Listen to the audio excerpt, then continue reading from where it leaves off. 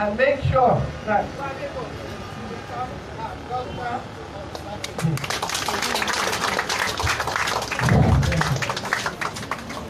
We are here right now in the home of a very important um, PDP the parents of stalwart, um, Mr. or Chief Bode George. chairman of Labour Party, here Right present, now.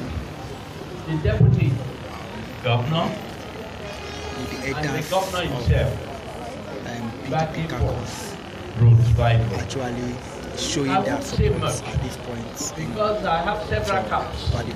This But what meeting I want to is key, is crucial, you know, for Gbadebo winning the election on Saturday. Like you have said, everything What I want has to be done. Every every key stakeholder, every important members, key stakeholders of um, Labour Party and the uh, Bode George faction are coming together to support. GRV for for his um, for can see everybody here, everyone ANC. points. He's a militant. And I'm not saying that he's not a All of them as a So militant. this is Chief Bode George I showing, want to salute them. his I really, really have to salute their courage.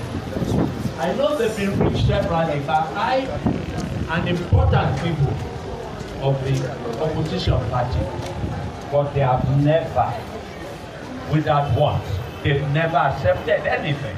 In fact, they demanded what is right for Lagos. And until that is done, we will not wait longer. Animal will come and do it. God bless.